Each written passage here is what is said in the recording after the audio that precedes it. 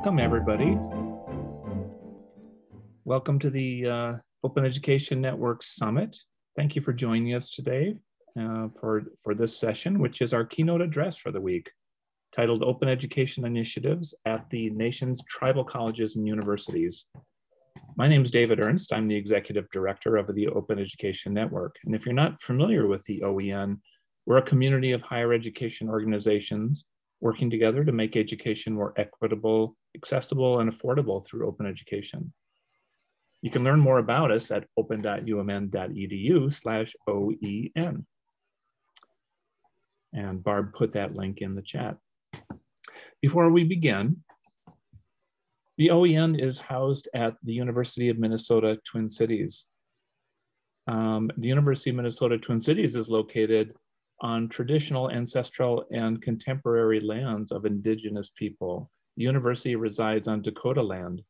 It was ceded in the treaties of 1837 and 1851, but we acknowledge this place has a complex and layered history. This land acknowledgement is one of the ways in which we work to educate the campus and the community about this land and our relationships with it and with each other. We're committed to the ongoing efforts to recognize, support, and advocate for American Indian nations and peoples. So um, you should also feel free to acknowledge the indigenous people to whom the land you're situated on belongs um, in the chat if you feel so inclined. As we begin the session, uh, I need to share a few important details with you before we, we begin. Uh, this webinar is being recorded.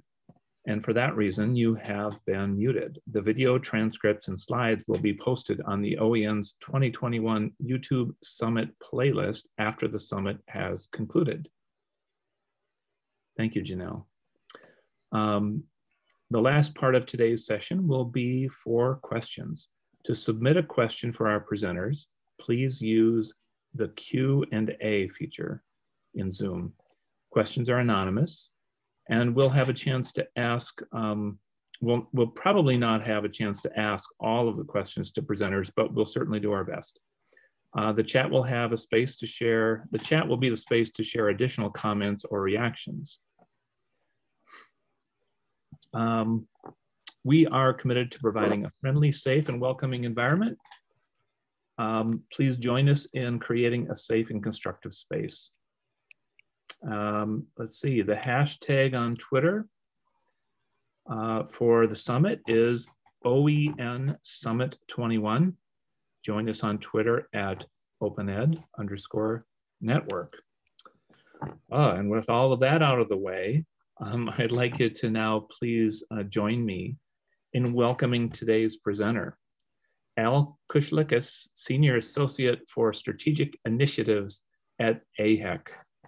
Hi, Al. Very good. Thanks, David, very much.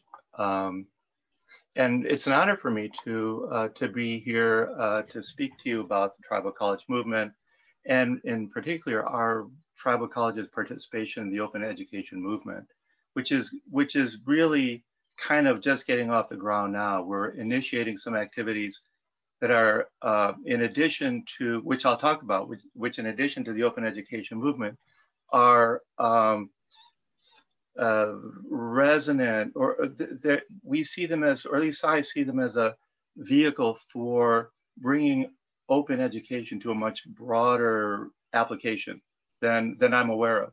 And being new to the Open Education Network, I know there's a lot that's going on out there that I'm not aware of that's innovative and, and, um, and exciting that we do want to connect with. So anyway, thanks again very much for taking the time and thank you all for um, for attending. Um, and Al, can you all see my screen okay? Yep, Al, we, um, we see the presenter screen. Oh, you do? So I got to flip it. Okay. Yep, yeah, thank you. Thanks for letting me know. Okay, how does that look? Is that good? Uh, not yet. At least I'm not seeing it. Your screen sharing is paused. Now, why is that? What are what are you seeing right now? Same screen with a menu that popped up. Um, sorry about that. let me try and, uh, okay, I swap again. Now what do, we, what do you get? Actually, nothing is changing. Oh, okay, try it one more time. It's not, oh, really? Right. You say, okay, Yep. Try it one more time. Yeah. Okay, hang on. Yep. Sorry. No. Okay, how's that? Miguel Uh, suggests duplicating slideshow, the other option. It worked a minute ago, right? yeah, it It did. Yeah. Strange, okay. yeah, someone else suggested try duplicating slideshow as well. Oh, okay, okay, let's see what that does. How's that? Uh, not yet. Now it seems almost frozen. It does seem almost frozen, doesn't it? Oh, there. Oh, okay. Let's try. Oh, now it's scrolling through. I, there's a there's a poltergeist in here somewhere, I got the presentation up and on now it's it's gone. Good. Yeah, let's try it one more time. Al, if you'd like me to pull it up over here um, and just tell me when to advance the slides, I've got it up and can try it and see if Yeah, let, let me just try it one more time, and then maybe then let's Yeah. do that. perfect. Yeah, crazy, Cra- crazy yet perfect. Oh, okay, what do you, what do you see now? Your screen, but not this. Yeah, the whole thing, PowerPoint and everything. Application. Okay, how about now? That looks good. Really, it does? Yes. Yay. Okay, all right, good. Thank you. Uh, thanks. Uh, thanks for your patience. Um, I can imagine people would have dropped off about now. So uh, what I want to do is a kind of an intro to the tribal college movement. You know, who the tribe, where the tribal college, colleges are, who they are, who they serve, what they do, and what why it's important what they do, and then uh, description of the our work with the OEN and then kind of uh, sort of an aspirational discussion of where we'd like to go with with OEN as far as uh, addressing uh, tribal community priorities. So there's 70, uh, 75 tribal college sites operated by 37 tribal colleges, 35 of which are accredited. Uh, two of them are in the process of being accredited. As you can see, they're, they're uh, scattered mostly west of the Mississippi, uh, the Great Plains have, have a large, fairly large concentration of tribal colleges, uh, the Southwest as well, and a number in the in the Midwest, the the um, the Woodlands uh, tribal colleges, uh, serving more than 88,000. That number has changed somewhat, it's dropped since COVID, but uh, uh, generally uh, serving around 88 to 90,000 students in a whole variety of programs, whole range of programs. Um, the tribal colleges are basically located where there are large, especially where there are larger tribal communities. All the Montana and North Dakota tribes have tribal colleges. The largest tribes in the Southwest uh, uh, have um, uh, uh, tribal colleges, two for the Navajo Nation, in fact.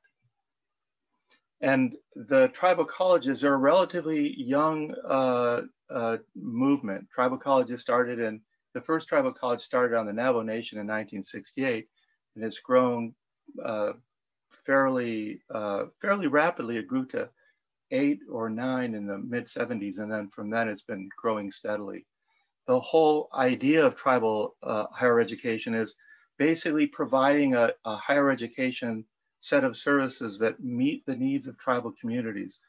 Uh, the experiment of having tribal, tribal students, native students, attend the regional universities at first did not work out that well because of the lack of um, a set of support mechanisms to sort to support students who oftentimes leave their leave their community for an extended extended period of time for the very first time. And the social uh, and and the, well really the social challenges are were experienced as being fairly daunting. So the idea a of providing a, a, a higher education resources locally um, and b making them locally relevant culturally uh, culturally resonant incorporating language and culture in instruction which you're not going to find at, at mainstream universities um, and so the tribal college movement has, has evolved to be more than a, uh, an, an option for higher education. They are really change agents, change agents in their communities. They provide research, they provide community development, net, uh, networking with uh, regional and national resources to address local tribal, tribal needs. They're really, they've really become, taken on a very essential role in nation building. The whole idea of nation building, sustained, sustainable tribal uh, communities that have uh, uh, economic, uh, a, a, a, solid economic foundation, that have uh, adequate health and, and community services. Um, the tribal colleges, I won't say that they're the, the only solution to issues confronting tribal nations, but they're, they're definitely an important part of the solution.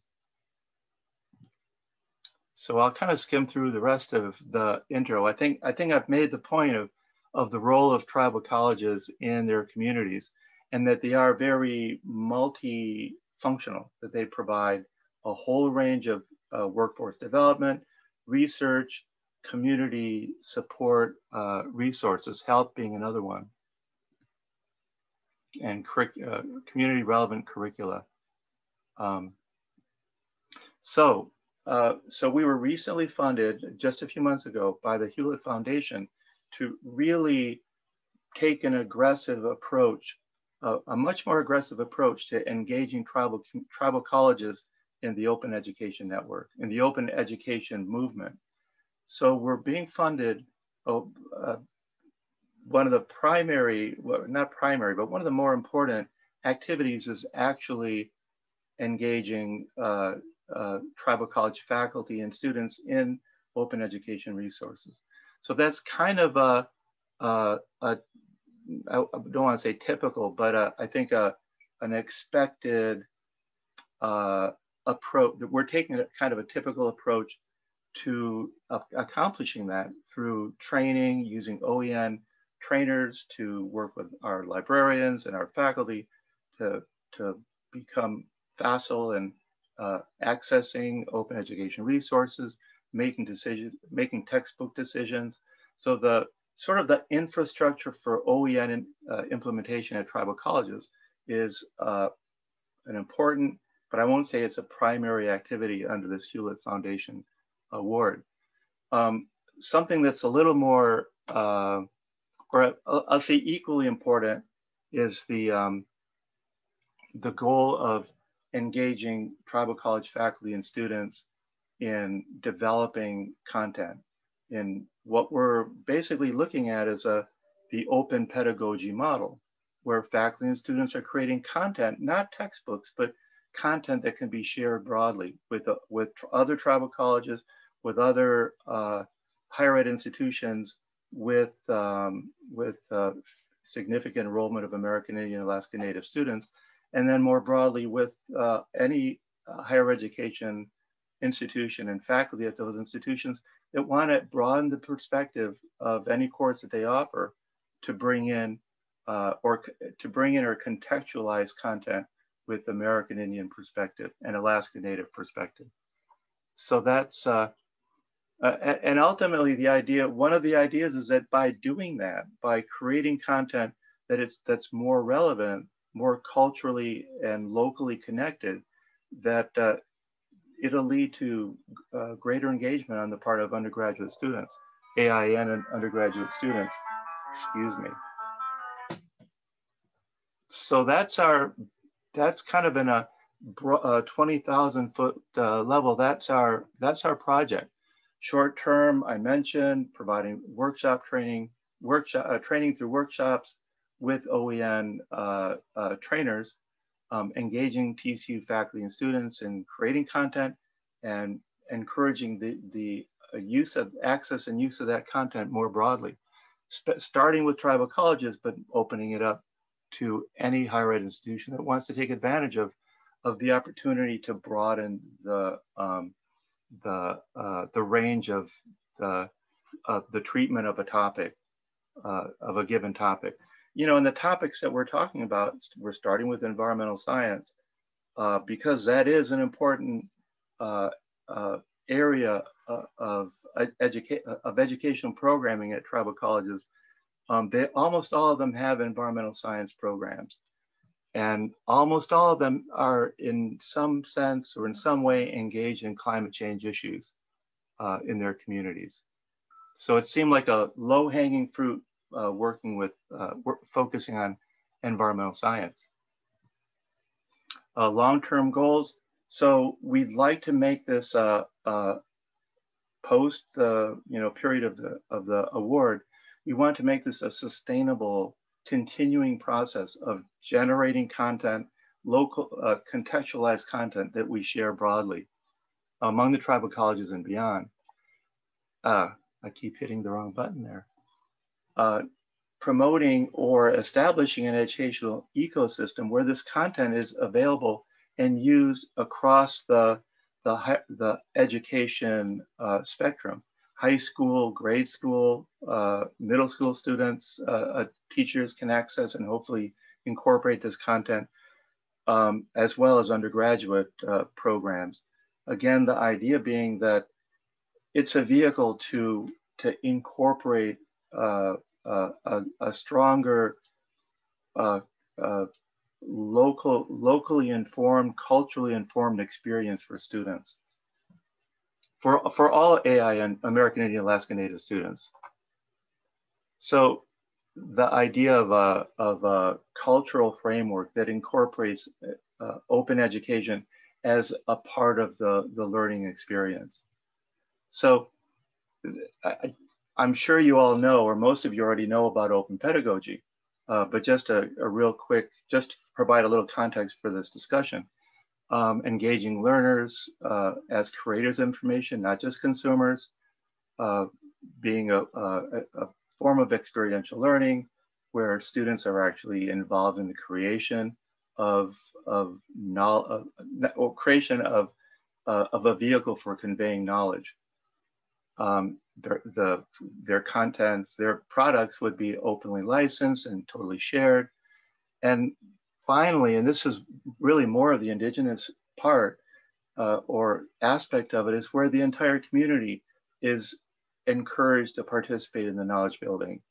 Um, the, the, the idea that there are um, knowledge holders, like traditionalists, who we're losing all the time as you know as people age and especially with covid it's important to get these and it, not only traditionalists but anyone with a with a perspective that provides local knowledge uh, some form of no, local knowledge having them available and encouraged to contribute to this basically a, a, an open education knowledge base and, and this knowledge base is something that I think is important for any community, or I should say every community to develop and maintain and supplement. So it's not just where any school, any, any higher ed institution uh, in the world uh, provides content that's similar to, that provides a, a, learning experience that's similar to any other uh, uh provider of higher education services. The idea is to make that as locally relevant um, and, and as locally focused on the, the education and workforce needs of the community. That, that's kind of what we're, what we're shooting for. And again, I mentioned this is sort of an aspirational target, but that's what we're trying to do.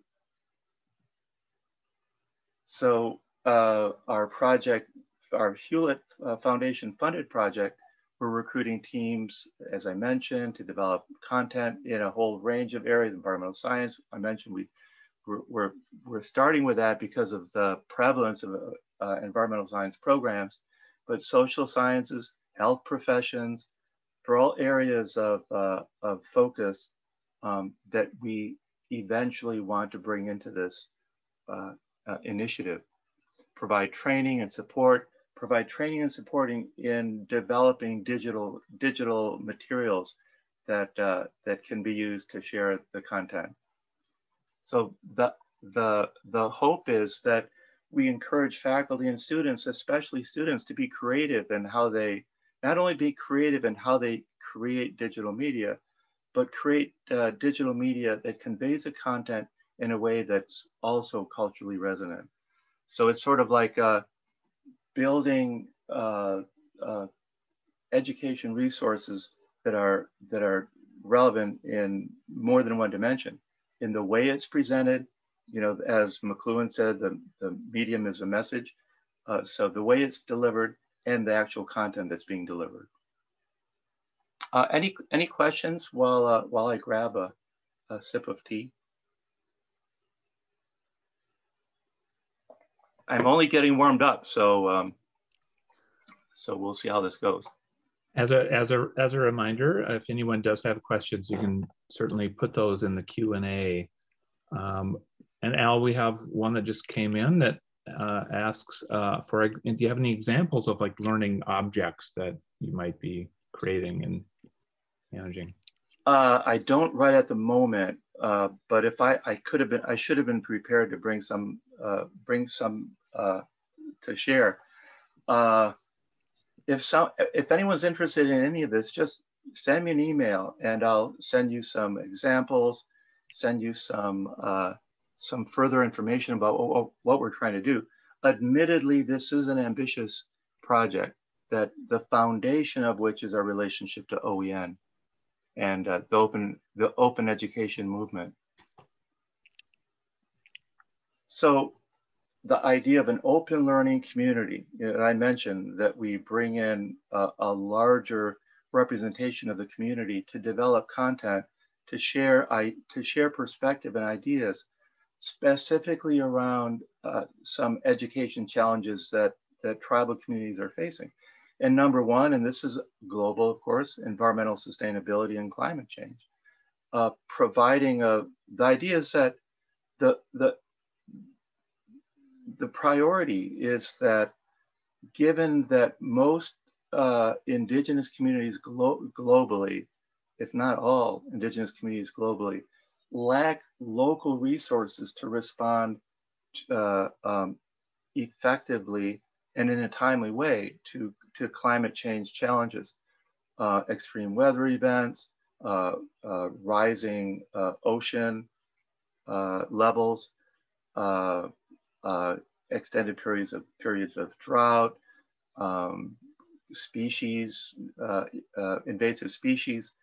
All these are creating challenges that that small uh, and relatively remote indigenous communities don't have the local resources necessarily to to uh, to address. And there's not there aren't enough global resources to to to direct at all the communities that are challenged. So the idea is that through uh, engaged community uh, work and open open learning, open education is a vehicle for that to, to, to happen. Um, communities can identify issues, identify possible uh, solutions, and share them across communities. Um, and that's a that's an open education, that's, that's certainly within the purview of open education. I keep hitting that.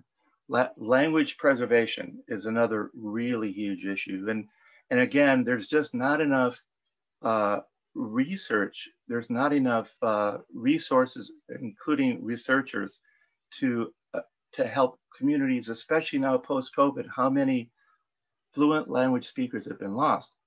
Um, there's just not enough resources out there to, to depend on. Communities have to take this, language communities have to take this upon themselves. And then finally, the maintaining, not finally, this is a short list, there's a lot more if we had time, uh, maintaining cultural identity within the larger uh, uh, cultural ecosystem, the global cultural ecosystem, and how much of that is, is technology driven. So an indigenous community-based open, open education system. Uh, engaging, as I mentioned, engaging learners at all stages, at all levels, uh, adult learners, uh, young learners, in, in, including them in this community of, of open pedagogy, which is not just consuming content, but creating content. Um, learning and, uh, let's see, incorporating cultural uh, uh, values into the process as a vehicle for, for cultural preservation and including the whole uh, cultural, social, physical ecosystem. That's the idea of, of helping with local community-based problem solving and decision making. Getting the open education, getting open education or open learning as a resource to support local community decision making, where for where information and knowledge around rapidly changing circumstances, especially with things like climate change and language loss, uh, require an, an agile, you know, learning approach. And this is a nice uh, quote. Uh, our identities are rich and complex because they are produced within rich and complex, complex set of relations of practice. So the idea of relations of practice, and, and then there's just to bring in as a as a kind of a, uh, a parenthetical comment, the idea of intersectionality, that uh, which I I think uh, is is absolutely accurate. That every any individual is comprised of a whole range of of um, identifications, some of which are traditional. If you're a if you're an indigenous person, some of which are are traditional and connected to um, to your uh, to your tribe, and others which are uh, regional, uh, national, and global. Uh, bringing in that whole set of relations that are relevant to a problem is uh, is is is a goal. I, I, again, it's aspirational. Uh, we, we, has, there has to be some application and uh, research done to to determine the um, the the, the reasonable reasonableness of the idea. Uh, so epistemological pluralism, and I think I've kind of implied this all the way through, that traditional knowledge, traditional practice are are relevant to um, are important and of value to not not only to indigenous communities but globally. They bring a perspective. Indigenous knowledge brings a perspective on on problems. You know you hear a lot about traditional ecological knowledge which is really important. It's based on many generations of observations of of natural naturally occurring events within an area. Um, that's it. Traditional ecological knowledge is absolutely important, but I believe just as important is traditional knowledge practice, the way knowledge is obtained, the way it's shared, the way um, knowledge holders are um, are incorporated in in uh, discussions about um, uh, decision-making dis discussions uh, for the community. So it's it's a false I keep doing that. There's a false dichotomy between indigenous knowledge and Western knowledge. There, there, and there's not one indigenous knowledge. There's as many indigenous types of knowledge as there are indigenous groups. Uh, it's a false dichotomy. There, there, it, knowledge is valid. It depends on how you apply it and the problem that you're trying to solve with uh, uh, by, by applying knowledge. So uh, one more kind of a background uh, uh, discussion about collaborative learning and metacognition. So collaborative learning, the idea, the fact, the, the phenomenon of uh, when people work in teams, they, they learn as a group, that they acquire knowledge, they bring in their own, the knowledge that they come to the team or the group that's working on a project, uh, but they also collaboratively build knowledge, collaborative learning. And then metacognition, the idea that you've got a metacognition, which I, I love the term and there's a lot of there's a lot of definitions of it, uh, but I'm using it metacognition as a as a form of cognition that includes that includes groups, that includes the environment within the group is operating, that includes the, the, the mechanisms for making decisions and acting on those decisions, metacognition.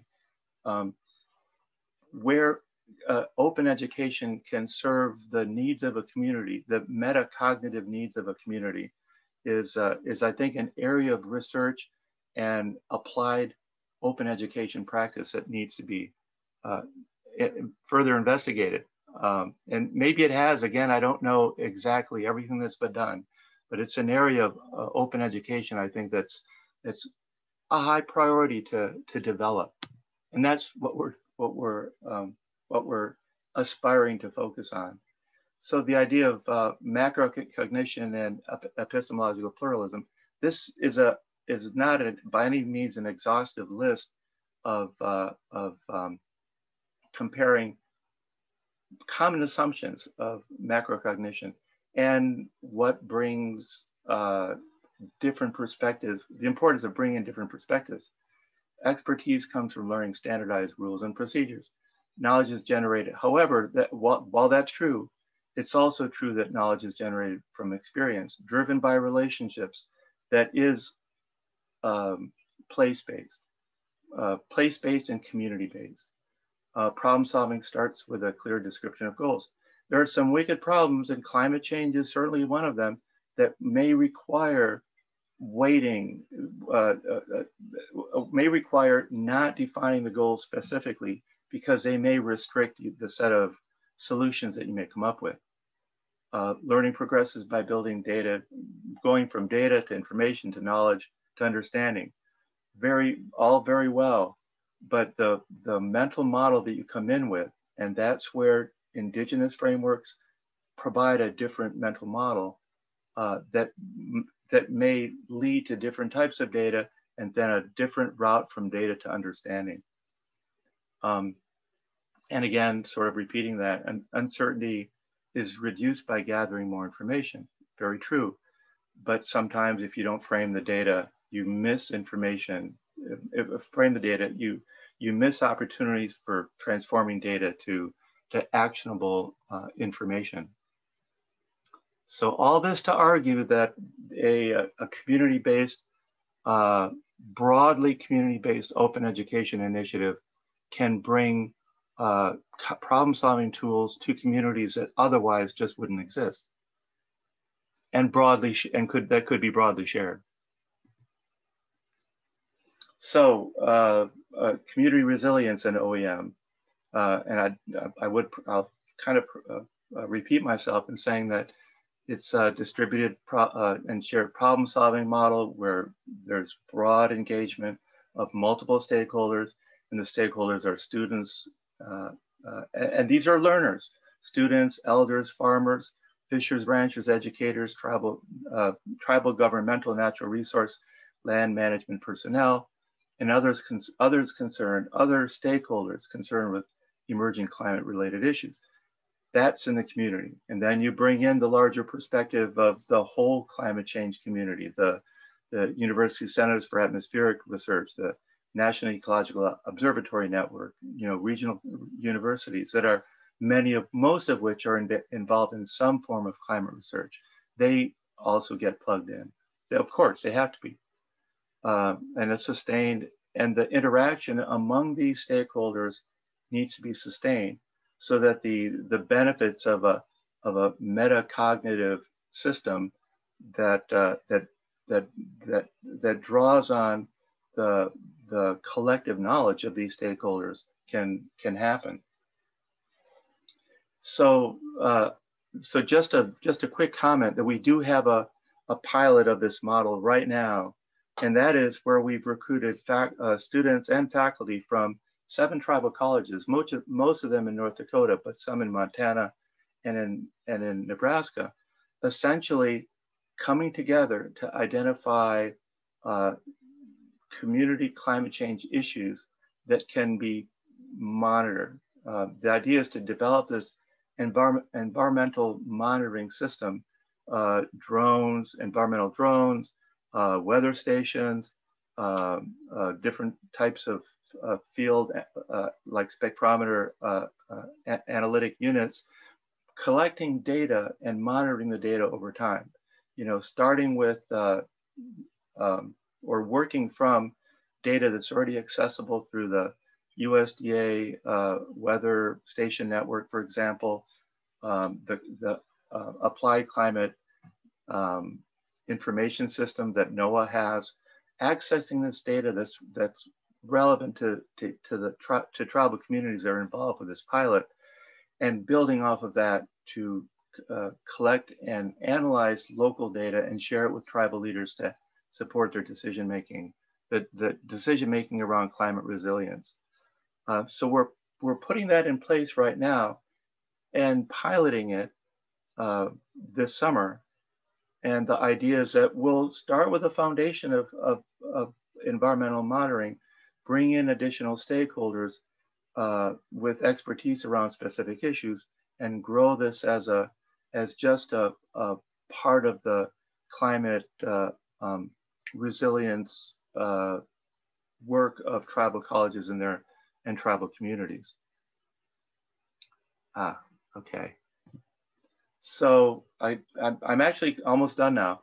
Uh, the, uh, the idea of macrocognition and, and climate resilience, um, there's, there's a time component, things happen very quickly, multiple players, multiple stakeholders. Uh, there can be vague goals when the issues aren't well defined, a lot of uncertainty, and the, and the, the whole situation is very dynamic. Bringing in multiple stakeholders to participate in the in the I call it a learning process because that's what it is. Identifying, observing, identifying issues, sharing, discussing, and responding to them in a in a collective manner uh, is uh, it, it is basically the model. And finally, uh, these are all dimensions of the uh, of the, um, of the challenge of responding to climate change plan, planning, sense making of the data that's being collected, collect, collecting the right data, coordinating this work. Um, this is well beyond open education for sure, but there's a role for open education in supporting this, uh, the, the, these, uh, these components of the issue, of the issue of, of responding uh, effectively and in a timely manner to, to climate challenges. And that applies to COVID, it applies to uh, health issues more broadly, the same idea of a community learning system. And the learning system starts with, it's as a learning system, it starts with good data. It starts with an, an engaged set of stakeholders um, working together, motivated and working together to address the issue. And I, that's it. That is my last slide. So I, I, I know I, I've spoken a lot of uh, a lot about ideas and and goals that are at this point still aspirational. Some of some components of which are in place, others still that need to be developed. But but all of it in my my thesis here is that all of this builds on and draws from the the experience of the open education movement. So with that, uh, are there any questions? And thank you for those of you that hung in there for the whole time. Thank you very much. thank you, Al. That was really wonderful. I just on a personal note, I think your the the connection with community is just amazing to me. Like I, my ears prick up whenever it, all the parts of it. Like it's uh where you're you you're the knowledge generation comes from the community. The the purpose of the knowledge creation is about the community and solving problems and generating solutions the whole anyway all of the pieces about connecting community i think are just so fascinating. So um, we do have some questions. Um, ah, very good. so uh, there's one let's see but i think you answered this one so i think we're okay but um, heather asked will language learning objects be part of the open pedagogy? So in other words would language learning be part of um, a part of that? But... yes absolutely yes. That, that's that's definitely the case. We do have a project right now with uh, dakota lakota language where we have, uh, where we're, we're identifying uh, fluent speakers who can translate uh, existing texts, existing um, documents in Lakota, or record, I should say recorded recordings in Lakota into, uh, into documents that can be shared openly. The, really, that's the idea is to, in general, not just for any one language group, to um, to translate, to share, to, um, to make available all the language resources that are uh, recordings, um, uh, uh, so, in some cases there are there is some uh, some literature that's been developed uh, sharing and making it available for uh, for app for for learning applications, however people want to use them. You know that is such an urgent need uh, for sure. Great, thank you. Um, uh, let's see. Uh, Janelle asks um, uh, whether the newly created materials will be Creative Commons licensed or have traditional knowledge labels or both or neither or something else. Yes, yes, and, and totally yes. Yep.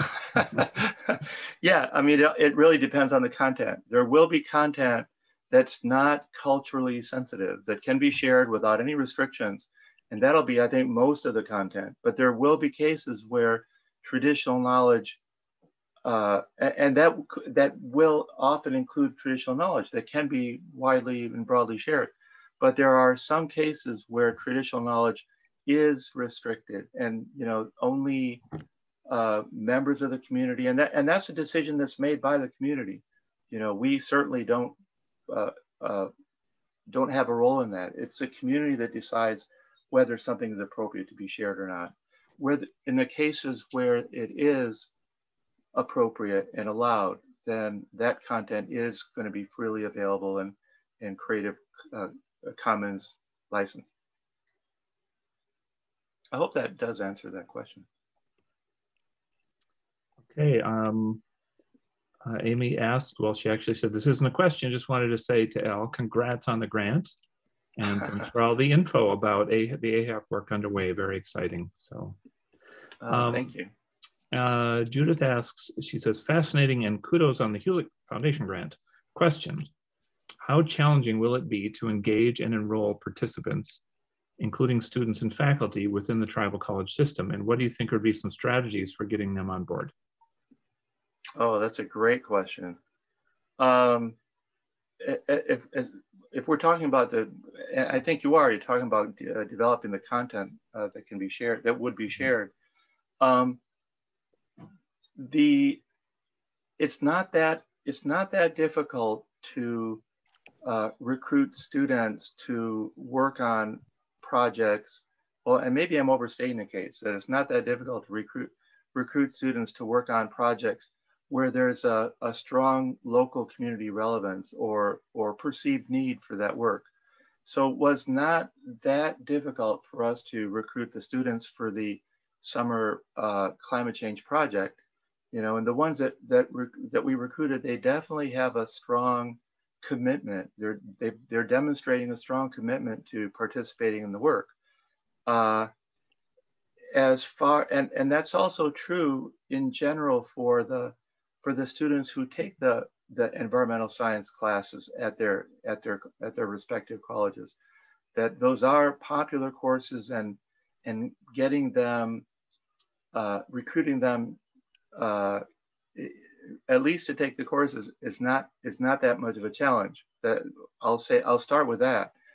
Actually, getting them to uh, to, to produce uh, digital media content that we can share that's uh, that that's yet to be established how how uh, how smooth that's going to go.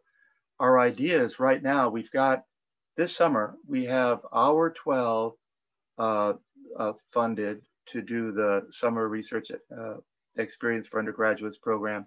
One of our colleges, Blackfeet Community College, has a funded project where there's a team of students who are doing similar work on the, the the Blackfeet Nation, who are um, who are also theoretically available to to participate, basically to develop a report on what they're doing. Um, and what they're doing involves includes things like interacting with the community, uh, um, going out and collecting uh, data, uh, making observations and collecting data in the, in the in the in the area on tribal land. Uh, so I guess I'm, the, the, the pieces are there, the, the, the motivated students are there. The, the piece that, that will establish is uh, viable is that we provide the training and technical support, which we have. We have a, a professional digi di digital media uh, person at Ilisagvik College, our college in, in Alaska, who's providing the training and the support to these students. So that's where the rubber meets the road. The pieces are there. Uh, and, and again, I think the motivation on the part of the students is there, but I can't, uh, I can't guarantee that we're going to get really good results or that those results are going to generate, are going to lead to really high quality content. I'm confident that we're going to get a, a, a fair amount of content just to get things started. And, and, and, a, and kind of a big part of the model is, is uh, uh, the diffusion of innovation model, you know, where you're going to get a small group, a relatively modest group of early adopters who say, this is a great idea, I want to do this. It's, you know, for multiple reasons, because of the topic, because I want to learn digital media skills, which, uh, by the way, are very high, very um, hireable, not hireable, what's the word I'm thinking of? Very marketable. so, um, so those early adopters, I think, will will help us set the set the um, set the wheel in motion. And the more, and we're going to do this. And again, I mentioned National Museum of the American Indian, that there are vehicles for us to for them to get their work out uh, that uh, that other students will see, other community members will see. They don't all have to be students, and say, yeah, this is something I I see that's important. I'd like to participate. The, we we currently AIHEC has a uh, the student the annual annual student conference, uh, which is every March, and like around 3,000 students participate every year. Um, we're including a, a, digital media competition um, starting uh, 2022.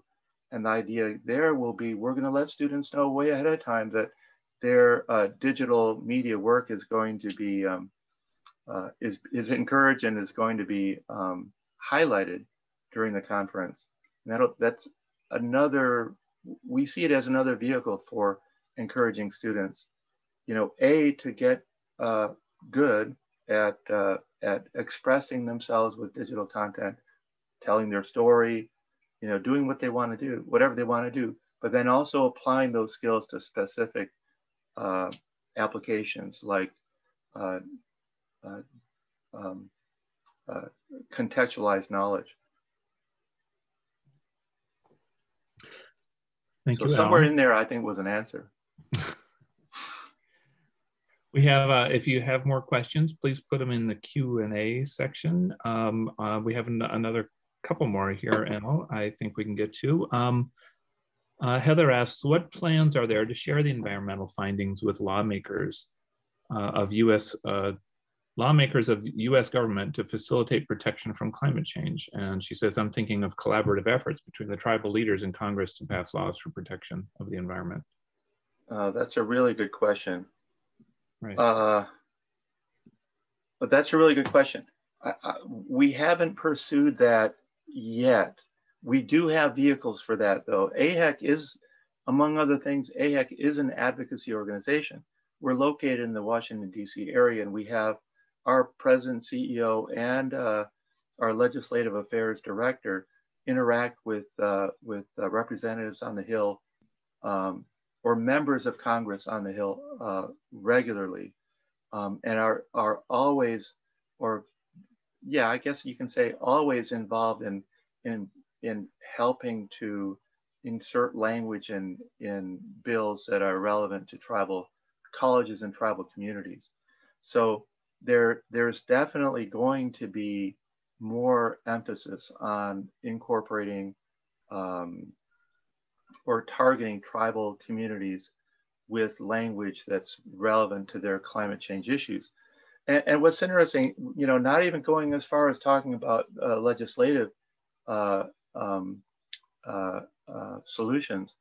There's the fact that you know one thing that motivated this project with uh, with North Dakota and incorporating weather stations as part of this environmental monitoring uh, uh, initiative is that we were told indirectly, so I can't quote somebody from the USDA, but the, the Natural Resources Conservation Service informed a faculty member at one of our North Dakota colleges that the tribe that they that that uh, that chartered their that college, where that college is located, um, was not in court was not included in a, in a list of North North Dakota regions that are um, particularly hard hit by the by the drought. And this was like a, a year ago. Um, that they didn't they didn't were not included in the listing simply because they lacked the data to to be able to confirm that the case, which told us tribal lands need to have uh, better uh, weather and climate data so that they are they are included in lists like that. And, and those are lists that are important for for USDA to decide on resources that are targeted to, to mitigate. So, so that is a priority for all our, will be, uh, not right now, we're, we're just developing, but it will be a priority for all the tribal colleges to make sure that there are not regions of tribal lands that are inadequately um, covered in, in, terms of environmental monitoring. Um, and, in, and supplementing where there are specific issues that may, that may be more locally uh, unique. But yeah, really good question. Yeah, and, and Heather makes a comment here that um, seems actually pretty related to that. She says she watched a documentary called Chasing Coral that showed the changes and transitions from a healthy ecosystem to the death of the coral coral reef and, and the loss of animals that depend on them. She said, I'm thinking if you can document change in the environment, which I think is kind of what you're talking about with that North Dakota yes. project, right? that's uh, the, and changes in the environment that's occurring because of the climate change, it would be a good educational media project. So yeah, that's, that, that, that's exactly right. That, that is exactly right. We did have a, the, NASA funded a project, uh, oh, seven or eight years ago, where they uh, acquired for a small group of tribal colleges a, um, uh, uh, uh, broadcast quality digital, you know, cameras and and editing equipment, broadcast quality, you know, for something that could be um, uh, shared on commercial television. So about five tribal colleges were recruited for that project, and each and each one of them, faculty and students, focused on a local climate uh, climate change issue, and did a small, you know, treatment of it, five to ten minutes. I forget exactly what it was. And they interviewed uh, uh, community members, elders, you know, who talked about how things have changed since they were, you know, young. And, uh, and all that was supposed to be collected and edited into one um, like hour long uh, documentary that would have been aired on something like PBS uh, or or some other you know Discovery or something like that. It it, it was a really well conceived idea and really really great um, concept. It uh, it fell it fell apart because it turned out that the costs involved in actually doing the post production were were more than what was available. So I think all that footage is sitting in the can somewhere, waiting for somebody to complete. But that kind of an idea, you know, given resources, that that's exactly right. That's the sort of uh, information um, that that needs to be shared more broadly, just like the the death of coral reefs. Um, there's certainly examples of of, uh, of um, uh, negative impacts of climate change all over. Right, right. And Heather adds, we need a website where we can all share observations of change in the environment, collected memories. So. Oh, well, that's a great, great idea. Yeah. Right. Do we have any additional questions? We have a few minutes left here in the hour. I'll give you another, another uh, minute here. Type them in the Q&A section.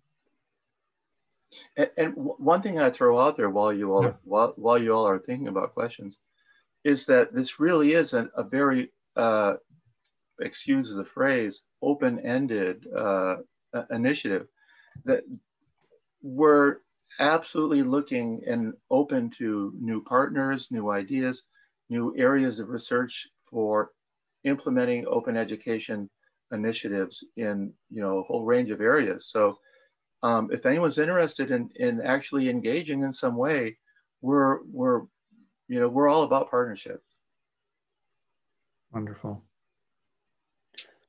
Well, I uh, I don't see any other questions coming in, and Al, I'll add that you know we're really the OEN is definitely looking forward to partnering with you as you move forward on this and trying to figure out how open education fits into this and can add to it. And uh, thank you, thank you, Al, for for everything. We appreciate your sharing your your expertise with us today.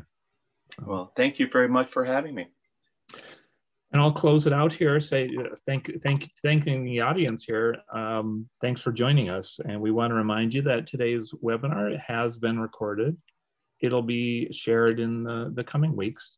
Um, you can subscribe to the YouTube playlist uh, to receive a notification, you know, when it arrives. And the slides and the transcripts will also be linked eventually. So um, you can keep the conversation going by joining us on Slack uh, at uh, oensummit21.slack.com. Um, and uh, if you are an OEN member, uh, we'll hope that you'll also continue the conversation in the, the normal OEN Google group. So thank you all. Thank you again, Al, and thanks everyone for joining us at today's session. Have a good week. Thank you. You as well. All right. Bye-bye.